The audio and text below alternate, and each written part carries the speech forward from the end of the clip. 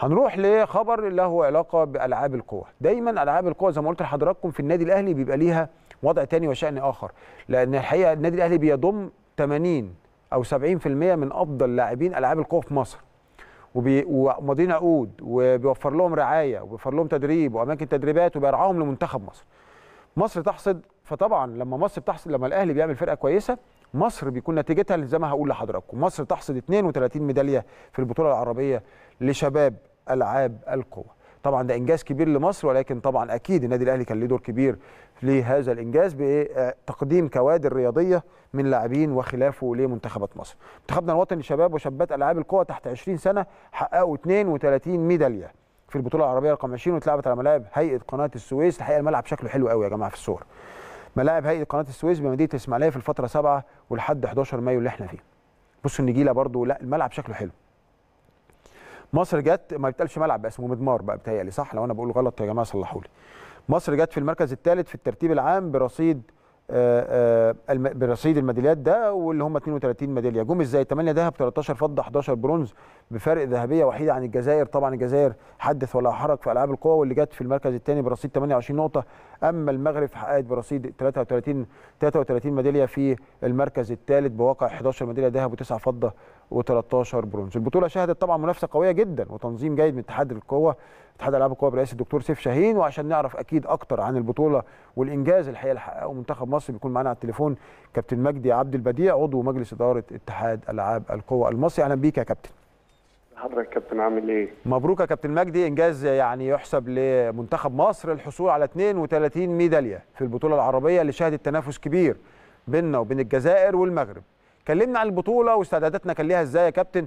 وهل توقعتوا هذا الإنجاز قبل البطولة ولا الحقيقة الإنجاز فاجئكم؟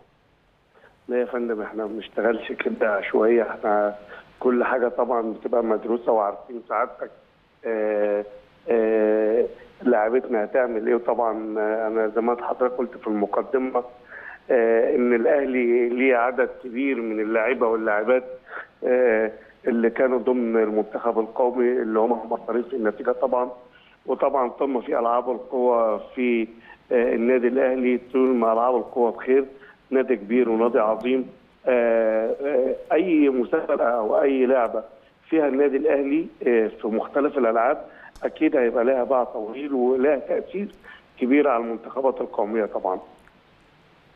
أشكرك يا كابتن يعني دي شهادة نعتز بيها وده دور النادي الأهلي إن شاء الله وداعم لمنتخباتنا القومية. طب كابتن كلمنا عن الأرقام يعني خلينا نخش فنيا شوية في البطولة. آه إحنا خدنا عدد 8 ميداليات ذهب ده حقيقي و13 فضة و11 برونز.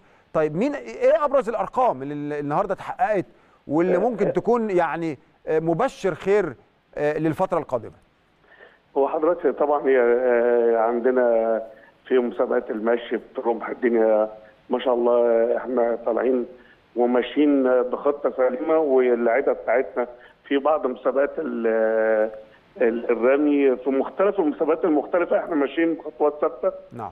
والحمد لله يا رب إن آه، عايز أقول إن إن النتائج دي ما اتحققتش زي ما قلت من شوية عشوائيه لكن جالت بتنظيم وإعداد آه، جيد من الاتحاد المصري لالعاب القوى توقعاتنا للميداليات إحنا يمكن هي الخير اختلف معانا في ميدالية أو اثنين كانوا متوقعين كنا ممكن نحصل على المركز الأول. لكن طبعا آه، آه، الظروف آه، في إصابات وفي بعض المسابقات اللي هي مع آه، اللي هي إحنا ما حققناش فيها أثرت علينا في النتيجة. إنما لكن لو أنت حضرتك بصيت على النتيجة العامة هتلاقينا إن إحنا فرق ميداليتين بيننا وبين آه، فرق بيننا وبين الجزائر ميدالية واحدة. بيننا وبين المغرب آه، ميداليتين آه، فالمفروض إن الأمور المدروسة آه، طبقا لخطه الموضوع إن إحنا كنا حققنا المركز الأول. لكن النصيب آه، بتاع ربنا ويمكن عدم التوفيق لبعض لاعبتنا آه، ده أثر علينا في الترتيب العام. لكن إحنا مؤشرة المؤشرة العامة للبطولة إن إحنا بنعد لاعبتنا والشباب بتاعنا للمرحلة اللي جاية إن هم يكونوا نواة للفريق الكبير إن شاء الله آه، 23 والدرجة اللي هو بمشيئة الله تعالى. كابتن أنت يعني حضرتك في قلب المطبخ طبعا بالنسبة لألعاب القوة، ألعاب القوة هي أم الألعاب يعني هي النهارده يعني والحمد لله إحنا لينا برضو تاريخ كبير في هذه اللعبة، شايف الجيل اللي طالع، شايف الصف الثاني أو أو الجيل اللي إن شاء الله يحمل الراية في لوس أنجلوس بقى؟ خلاص إحنا باريس بقت واقع. يعني باريس طبعاً. خلاص إحنا بنتكلم كمان ثلاث شهور فده واقع. إنما بتكلم على لوس أنجلوس بعد أربع سنوات هل عندنا جيل يقدر يحل مكان إيهاب عبد الرحمن محمد مجدي اللعيبة الكبار اللي الحقيقة اللي حققوا إنجازات كبيرة لبلدهم من نفسهم؟ هل الصف. الثاني أسامي تفتكرها دلوقتي تقدر تقولها لنا؟ طبعا. طبعا عندنا اللاعب ال- ال- الواعد آه، مصطفى عبد الخالق لاعب النادي الأهلي أيضا. هو النهارده آه، فوق 23 سنة وده اللي ما شاء الله تخطى حاجز ال 83 متر وده بي- ما شاء الله. مؤشر بيدل على إن مصر ولادة بلاعبتها والنادي الأهلي ولاد بلاعبته ومدربينه وإنجازاته يعني آه، كابتن إيهاب آه، طبعا ربنا يديله الصحة طبعا والاصابه اللي عنده طبعا مع الطلاق آه، كتير عن التأهيل في المر... عن. عن تحقيق ميدالية في الاولمبياد اللي جاية لكن كل اللي أقدر أقوله إن مصطفى عبد الخالق آه، إن شاء الله في المرحلة اللي جاية هو ده اللي, أنا عايز أقوله آه، إن ده هو مفاجأة آه، الاولمبياد اللي جاية إن شاء الله. ربنا يكرمنا يمكن يتأهل للاولمبياد اللي جاية لكن ما وعدش بميدالية لكن أعتقد إنه هيحقق نتيجة كويسة تبشر بالخير. لاعب صغير لاعب واعد لاعب بطل بيتمرن كويس. فأعتقد إن هو خليفة إيهاب عبد الرحمن في المرحلة اللي جاية ده من ضمن المؤشرات انما محمد مجدي ومصطفى عمرو ما زال له عندهم الكثير والكثير. في آه، آه، طبعا أنت عارف حضرتك طبعا محمد مجدي بيلعب في الأهلي آه، مصطفى عمرو بيلعب في الجزيرة. يعني ما زال لسه قدامهم من العمر ما يعطوه لمصر. وطبعا أتمنى إن الكابتن إيهاب يتغلب وربنا يشفيه. المرحلة اللي جاية يتغلب على الإصابة اللي موجودة معاه. ويحقق اللي إحنا بنتمناه طبعا.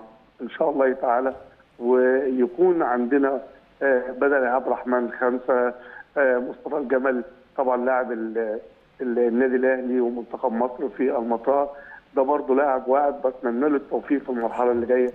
يعني آه، في طبعا كابتن بسنت حميده طبعا لسه قدامها فترة كبيرة.